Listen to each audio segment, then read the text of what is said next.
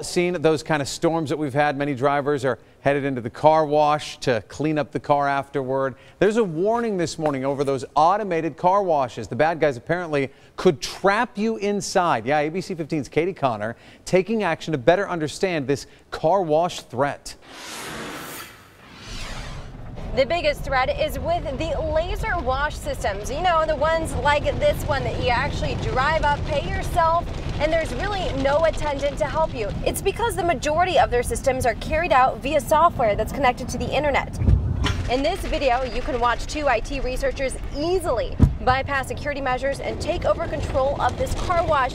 They could strike the entrance door up and down on their hood, or they could close both the entrance and exit doors to trap people inside. IT expert Michael Kokenauer says if any car wash is connected to the internet, it's at risk for being hacked. It's one thing like, oh, somebody has hacked into my baby cam and they're watching what's going on in my house.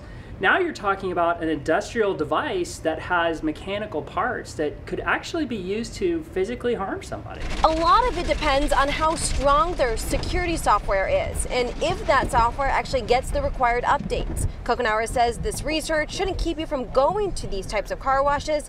Instead, just be very aware of your surroundings. If you're going to a big name brand car wash, maybe you don't need to worry as much versus if you're going to, you know, a little one-off in the middle of nowhere that's at a private convenience store, maybe you need to be a little bit more worried. And to be very clear, this hasn't happened to any innocent car wash customers yet. Reporting from Phoenix, Katie Connor, ABC 15, Arizona.